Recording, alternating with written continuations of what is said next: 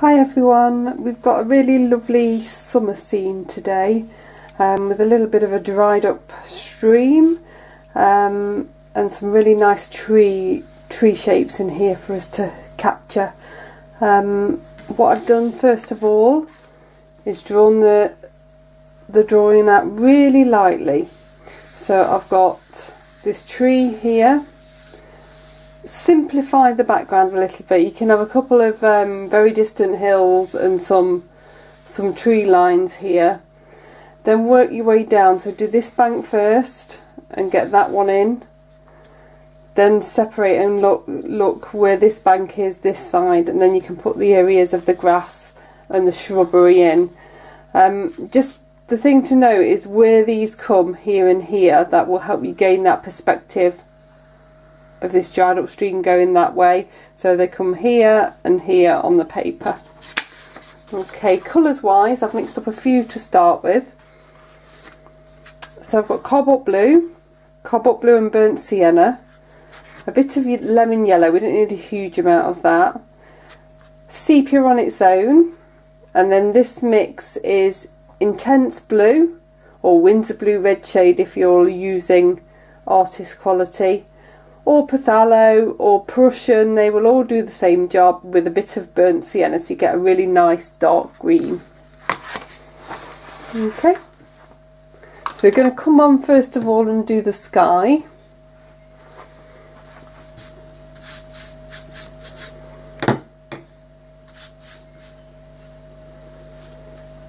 So come straight over that tree with the water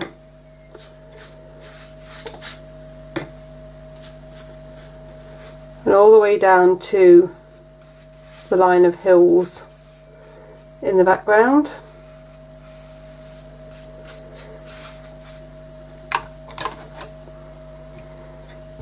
I'm going to use my round number 10 and come in with a little bit of cobalt blue.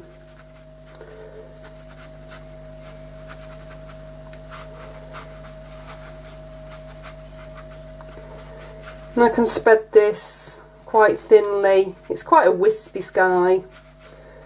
It's not the the focal of the picture at all today.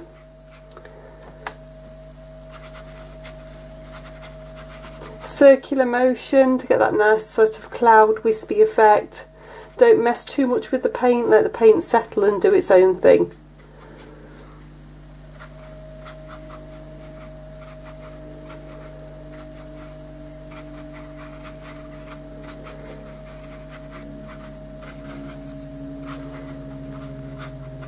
So you're going to have some little wispy white bits of cloud, a lot of blue in the sky, and then I want you to dab a little bit into the grey. Now you're not taking too much in, we don't want stormy sky, but it's just going to give that little bit of extra depth. And a bit of variety as that splits out a little bit. You can keep it towards the top, that always works quite nicely sense of distance.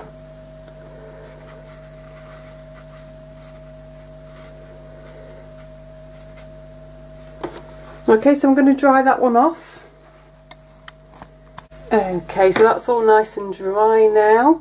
So next we're going to come in and do this very distant I don't know if it's it's a hill or whether it's actually foliage in the distance but we'll get those in. So I'm going to there's a little bit of water. And there's a little bit of one here as well. I'm just going to bring in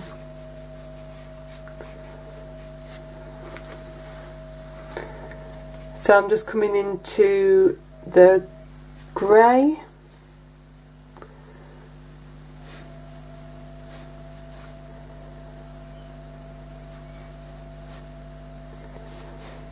just dropping some of that in. Doesn't have to be everywhere. You can swap down to a number six if you want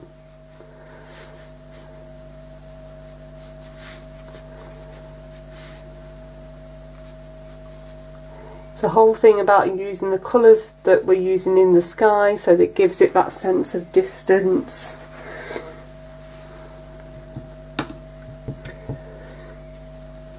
I'm just dabbing into a little bit of the blue as well. Bring that through. So I've made this one look more like foliage by just altering the brush at the top a little bit and dabbing through. This one looks more like a hill.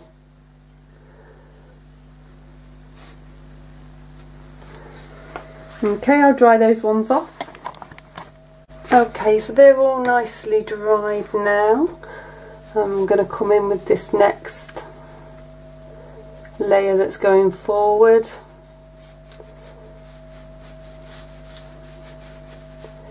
This is this really dark tree line next. So a little bit of water's going on. You can do this bit by bit so you can split it into two sections. Don't feel you've got to do it all in one go.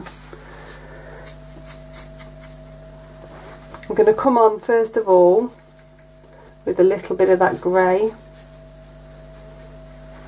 just so we're carrying it through because it's still quite distant and that helps it knock back a little bit.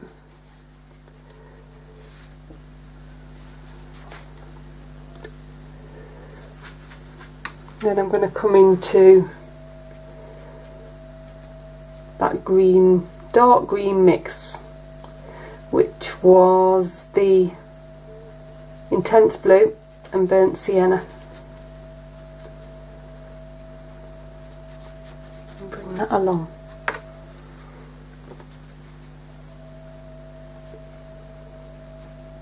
So if you keep your brush quite vertical, then the tip will create this sort of foliage tree effect along that line.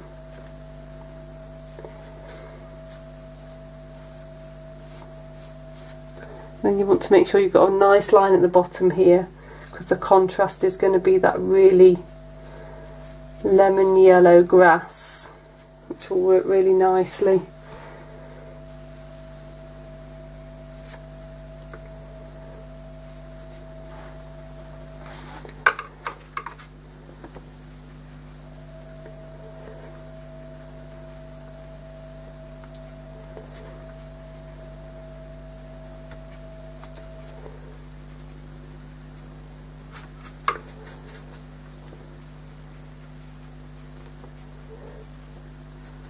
Coming along here doing exactly the same.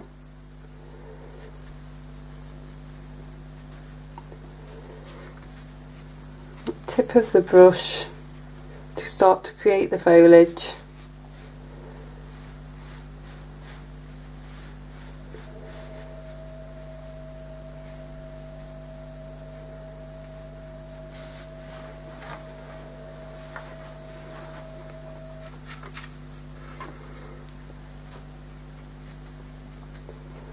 Just keep dabbing in.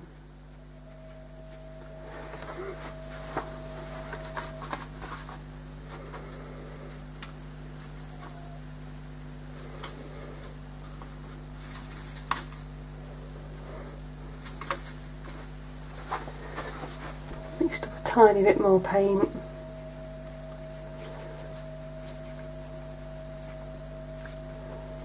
you want to make sure that it's fairly dark that contrast. It's a little bit on the light side so I'm just bringing in a little bit more paint whilst I've still got the chance to do it.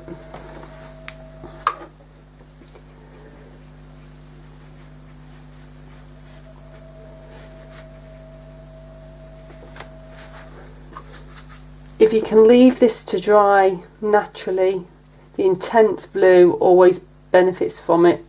Um, it tends to fade quite a lot with the hairdryer.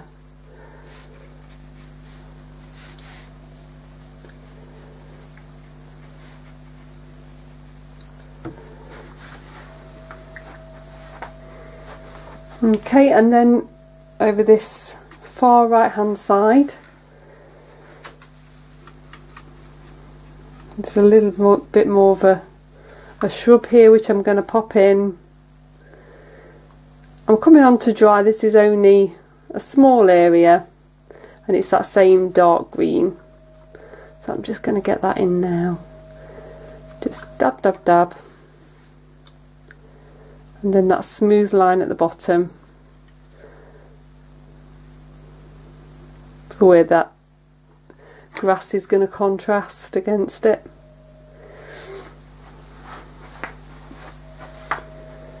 Okay, I'm going to dry those ones off. Okay, so that's nice and dry now. Just to simplify this, I've loaded my brush with water and then I've dabbed into the sepia which is quite strong but because I've loaded my brush it's working really nicely and I'm just going to pop in this little bit of a brownish field I can see here.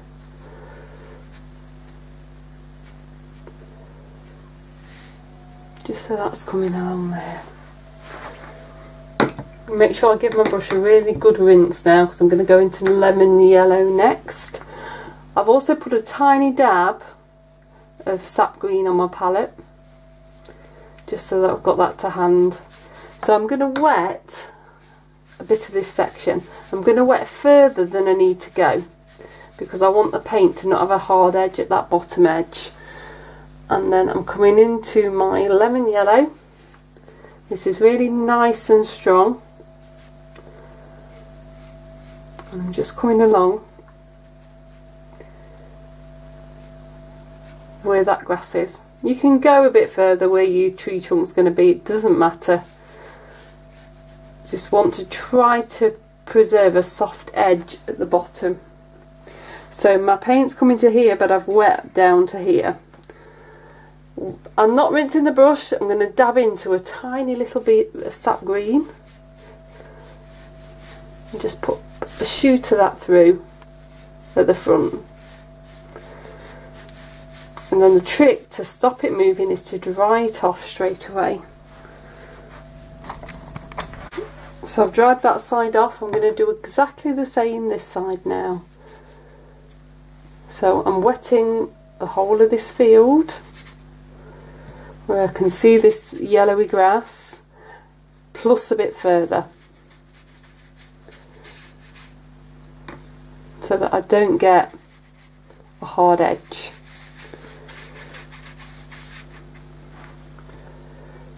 into the lemon yellow. Shoot that in from the top and across. You want this to be nice and bold.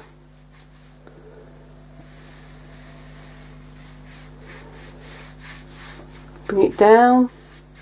So I've got my water coming to here and down to here, but the colours only really stay in there. Not rinsing my brush out, into the sap green again and again just bring a little bit of that through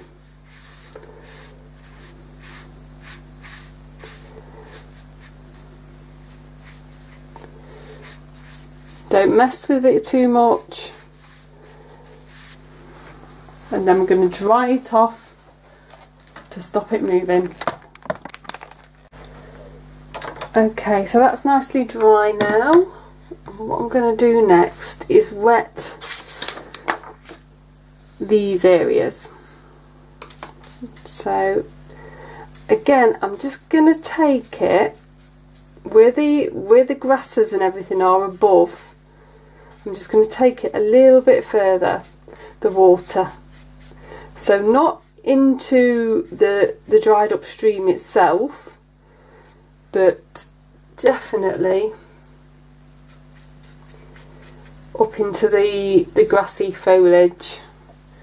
Just a little bit more and then seeing where my lines are. This side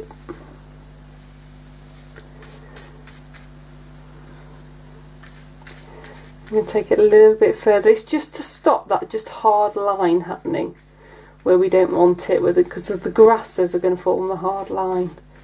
But we do want a harder line where where the dark is with the dried up stream.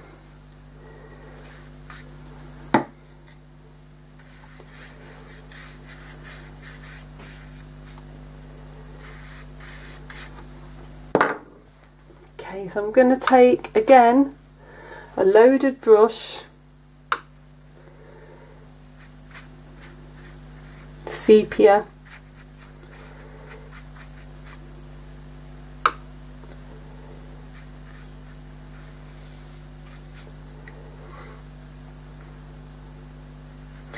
So you're not too bothered about what's happening at the top because that's just blending.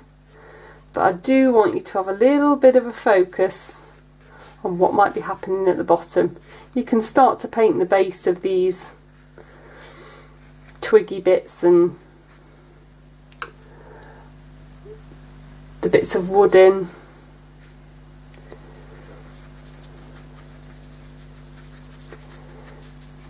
I'll work around these a bit later on anyway. So I can take a little bit of that in as well. Just got to make sure you don't go too strong.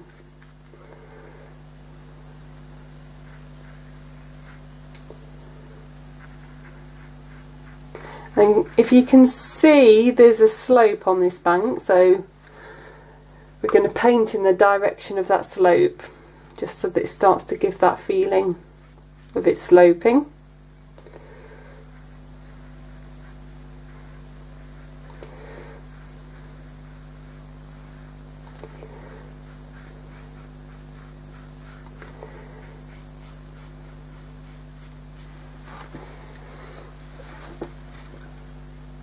You've got some rose on your palette, I just want you to dab into a tiny bit of it and just bring a hint of it through. It's not essential. If you don't like the rose, you don't have to use it. You know I like my rose. And I want you to bring it more into that bottom third.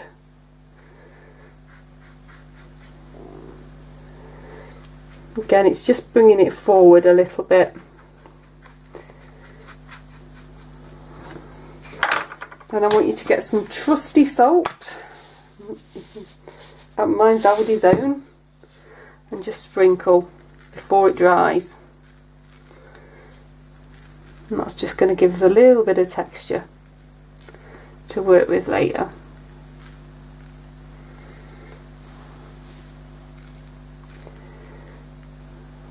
Okay, so you're going to let that dry naturally and it's a good time for a coffee break. Okay, that bit started to dry really nicely. And whilst that bit's drying I'm going to come in and just get a little bit more in this background here, area here.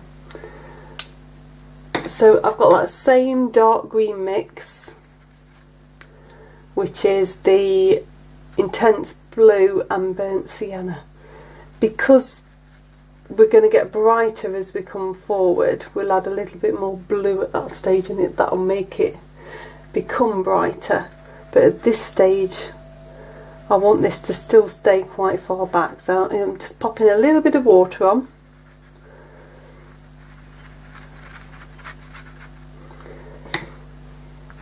I'm using my round number 6 because I've loaded my 10 up with the green and I don't want to rinse it off. I'm going right the way up to the bottom base of the tree there. What I'm going to do because I need this to be this to be different to this is I'm going to pop a bit of sap green on. So the sap green is going to be bringing this forward a bit and sending the other bit back a bit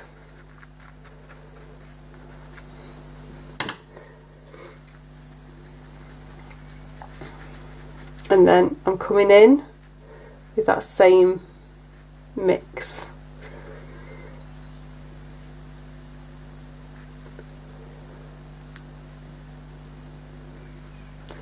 Now if you look, there's all different colours in there, but we're just simplifying it.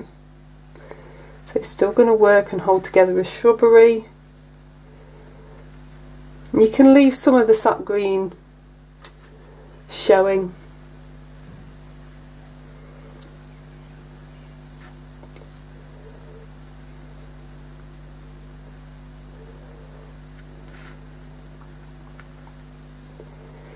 In this section just at the bottom make sure that you're getting a jaggedy edge there because it's coming into more foliage. Just there. And then this here wants to be quite horizontal. So a minute it's slanted up and I don't want it to be too slanted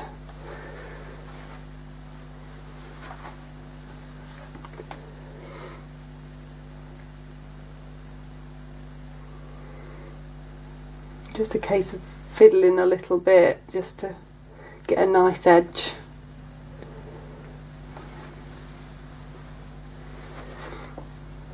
If you like the other bits of colour in there you can always pop a bit of burnt sienna in on its own first. That would work quite nicely. Okay I'll dry that off and then I'm going to rub the salt off as well okay okay so we're going to come now onto this side I've rubbed the salt off it's dry get this area in in the middle that we haven't got in yet. So plenty of water. You want a bit of credit card or something like a knitting needle to hand to do some scratching in in a minute.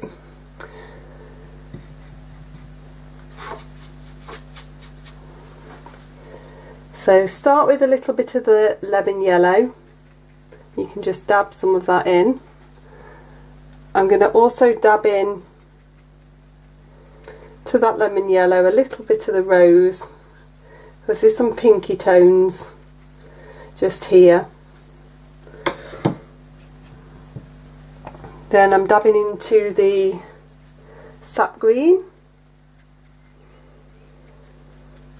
If these colours are all fairly thick, you'll find that they don't run too far. If When you're popping them on, they're running like mad, they're too thick.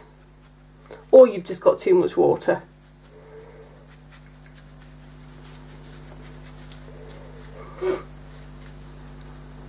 So you should be getting a nice effect of it running a little bit but not going mad. So if you're using neat sap green it's easier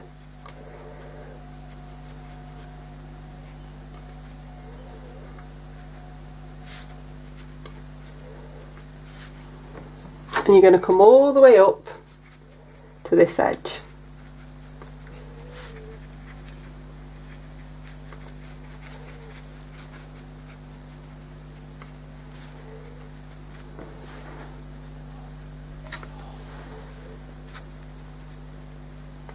down onto the bank.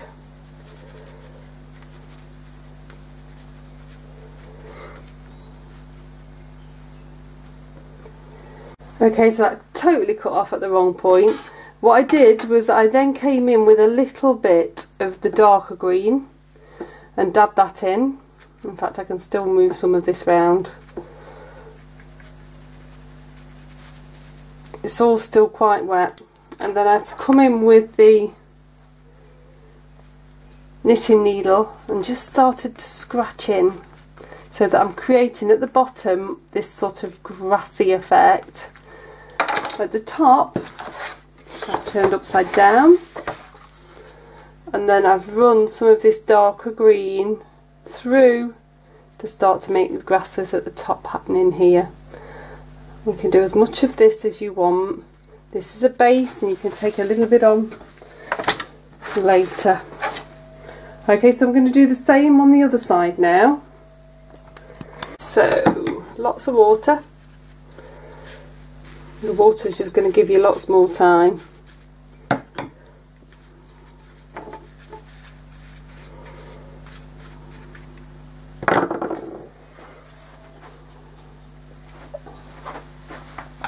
And then in with your lemon yellow first. You've got this grassy area at the bottom.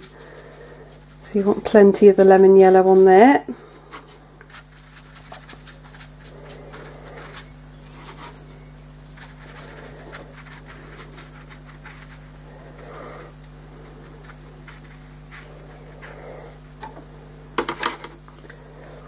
Then into your sap green.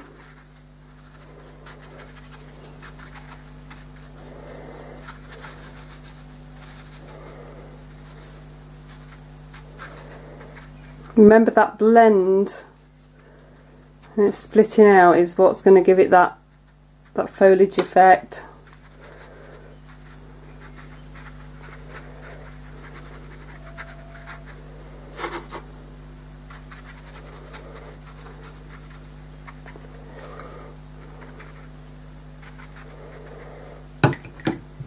And my brush a little rinse, touch into some of the rose just to get that pinkiness happening. If it's a tad too pink, just take a little bit more of the lemon yellow in.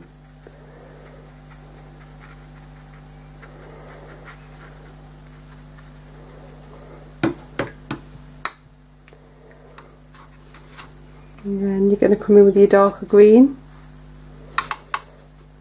which I'm just mixing a bit more up because I've run out.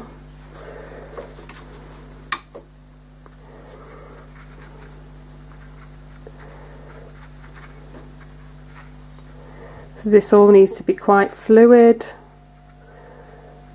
You can use this as a base. We're going to do some stippling today. That's going to be a bit different. Not really done that before.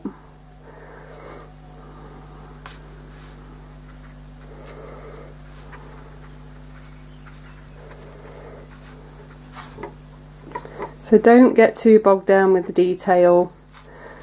As long as it's getting this this fine feathery effect, it's going to work.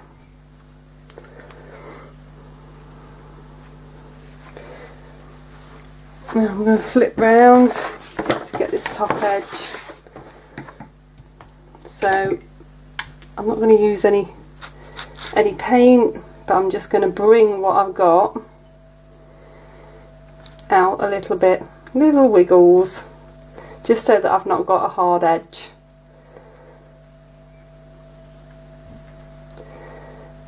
It doesn't want to be too smooth, it needs to be broken up.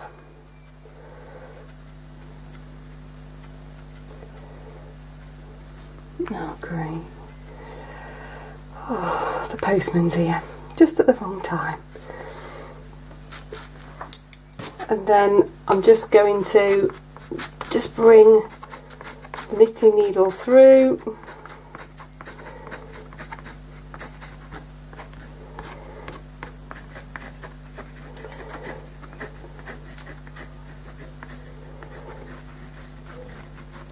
very quickly because I need to go and answer the door to the postman destined not to to get to show you this fully. So there's a few at the back here.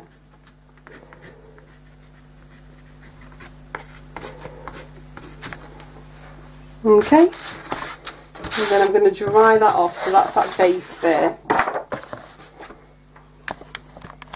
Okay, so with um, a little bit of a bit of wax, you can just come over and just create a few little stony bits. Um, I'm going to try, it might not work, but I'm going to try putting these little branchy bits through with the wax as well.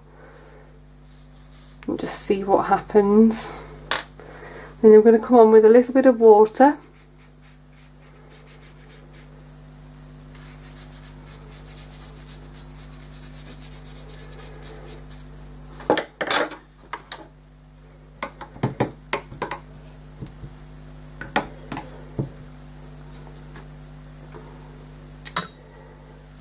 just found this area. There's a little bit of a grassy hump here. It's a bit bluer so I'm just going to take a bit of the cobalt blue in.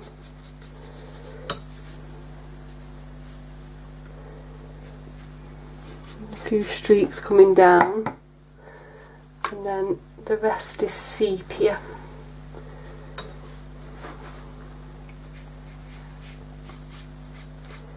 So you want horizontal strokes.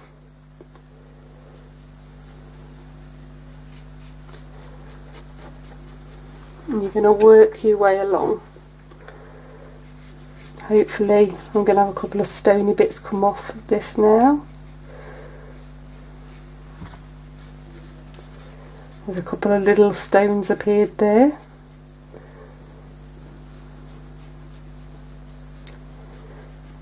And then just break into this bank so that it's not too too smooth.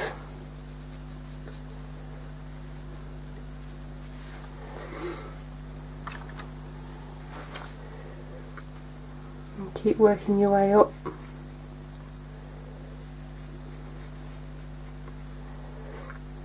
I've got like a little bit of a log happening here so I'm going to leave that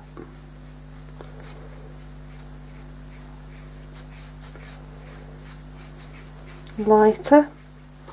And I can see them branches they've sort of worked but not great.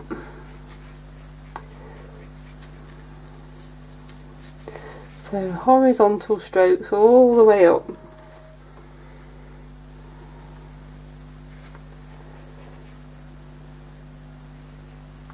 And just keep checking your edges. You've got nice edges appearing that's where that grassy hump's going to be.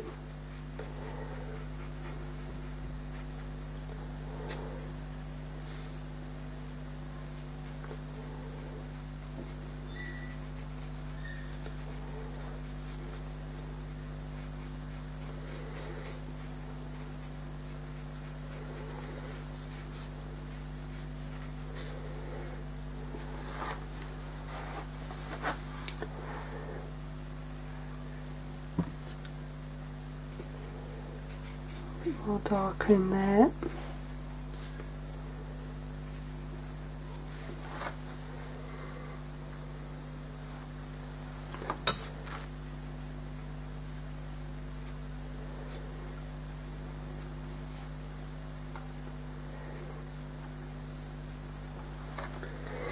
Okay, so I'm going to dry that one off.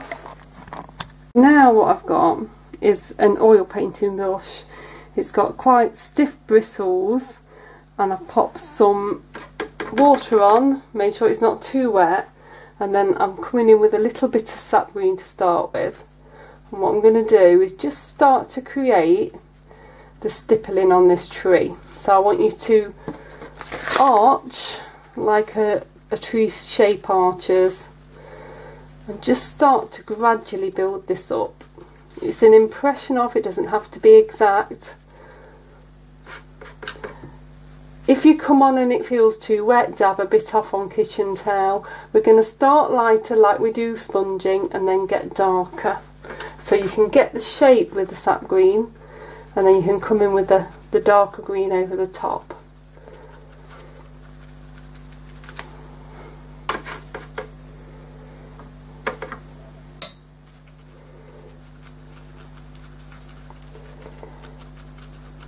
So you're just worrying about the foliage at this point.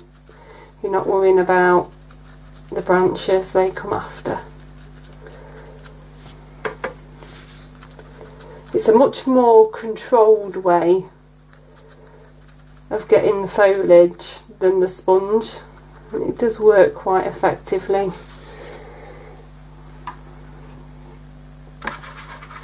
Just got to make sure you've got plenty of paint.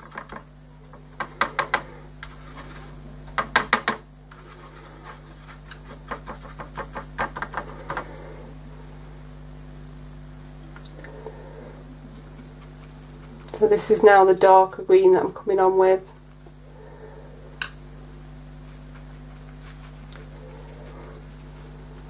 Start in this bottom area because it's quite a lot down here.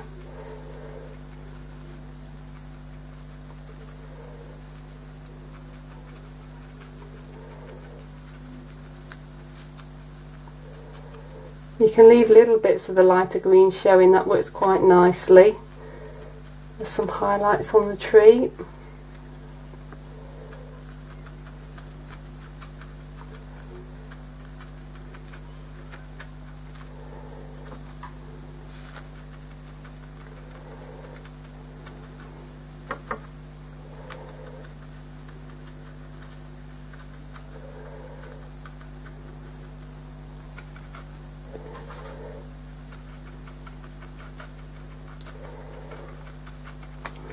going to continue to build it up.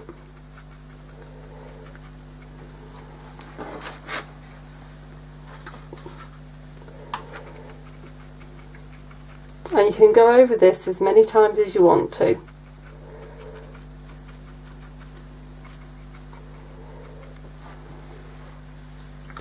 What's really nice now is you should be getting that nice dark contrast against this light field here that should be working really well. You can actually take a bit of sepia in if you want it to be darker at this bottom section. I'm going to run through with sepia anyway now. So your branches, I always find it easier to go upside down. You can choose whichever brush you feel most comfortable with and you're just going to run through. So I'm going to start with a bit thicker one. It's quite nice if you can get it whilst it's a little bit wet still because it just tend to blend better then. And then I'm going to go down to a line writer to do these finer ones and you're just going to bring them through and what you need to make sure is you haven't got any floaty bits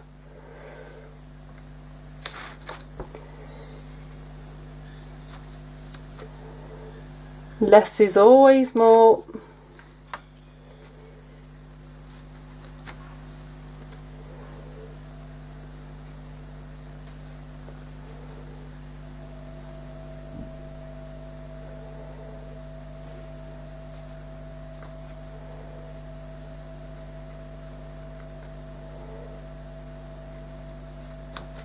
get a really nice effect. You can come back over again with more stippling if you want. just a case of building it up. Just take a little bit more over where there's bits of blended.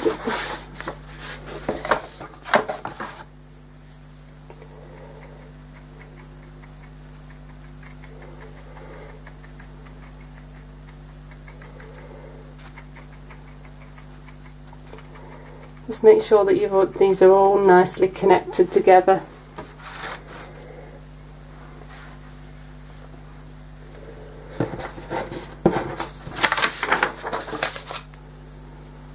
And then you can stipple on these foliage sections as well. So you can use a bit of the green. You want to stipple some in, you can use a little bit of the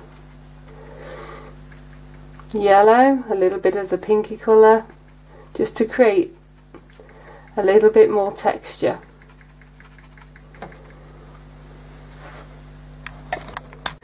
So I've done a little bit of stippling on, on both these sides now in that foliage area.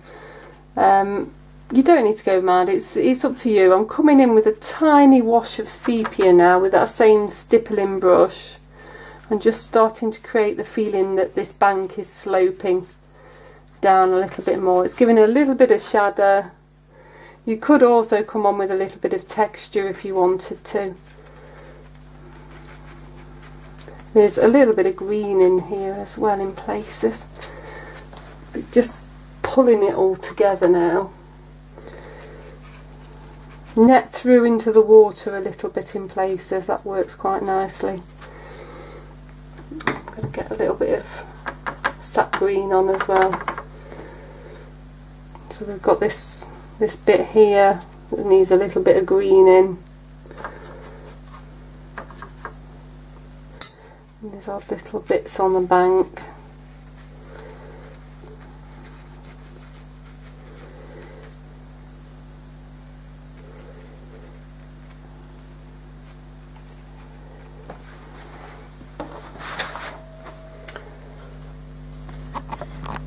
Okay, so that's pretty much it. Might just take a little bit darker just in here. So I've got a little bit of sepia. I've already stippled in a bit of the dark green in here just to help get that light against dark. It feels like it needs a little bit more just there. So just that little bit of sepia stippled in just set that edge forward a little bit more. Okay, hope you've enjoyed this one. See you next week. Bye.